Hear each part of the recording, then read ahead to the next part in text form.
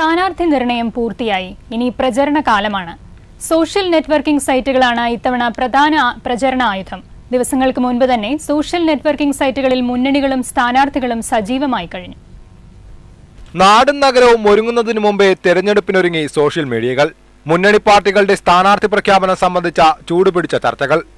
അണികളിലും നേതാക്കളിലും അലയടിച്ച ആവേശം പങ്കുവയ്ക്കുന്നതിൽ തുടങ്ങി കടുത്ത വിമർശനങ്ങൾക്കും അനുഭവം പങ്കുവയ്ക്കലിന്റെയും വേദിയാവുകയാണ് സോഷ്യൽ മീഡിയകൾ.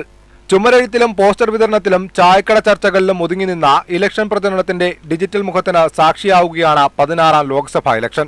യാഥാസ്ഥിക പാർട്ടികൾ വരെ ഫേസ്ബുക്ക് അടക്കമുള്ള സോഷ്യൽ മീഡിയകളിൽ അക്കൗണ്ട് തുടങ്ങി പ്രചരണം കൊഴിപ്പിക്കുകയാണ്. അങ്ങനെ നിങ്ങളെല്ലാവരെയും ന്യൂജനാക്കി.